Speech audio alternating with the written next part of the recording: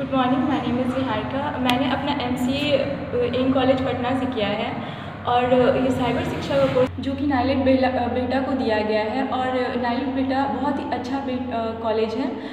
जहाँ तक साइबर शिक्षा कोर्स की बात है तो ये साइबर शिक्षा कोर्स बिहार में पहली बार आया क्योंकि हमारी गवर्नमेंट ऑफ़ इंडिया की तरफ़ से ये कोर्स निकाला गया था और आई ने ये उस आई के भी हम लोग बहुत थैंकफुल है कि उनकी वजह से हमें ये कोर्स करने को मिल रहा है। और साइबर शिक्षा जो कि साइबर सिक्योरिटी से रिलेटेड है। आज के डेट में सिक्योरिटी के बारे में जानना बहुत ज़रूरी है कि कैसे सिक्योरिटी अटैक्स हो रहे हैं, हम लोग उनको कैसे रोक सकते हैं।